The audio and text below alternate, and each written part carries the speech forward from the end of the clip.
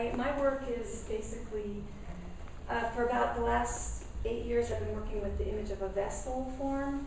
And I think that kind of relates to the watering cup I was thinking of earlier, and the human as a body and holding things in. But now, the idea of the flower, uh, maybe I was inspired by Marti, but the idea of things sort of bursting out, um, that is some of the reasons for some of my.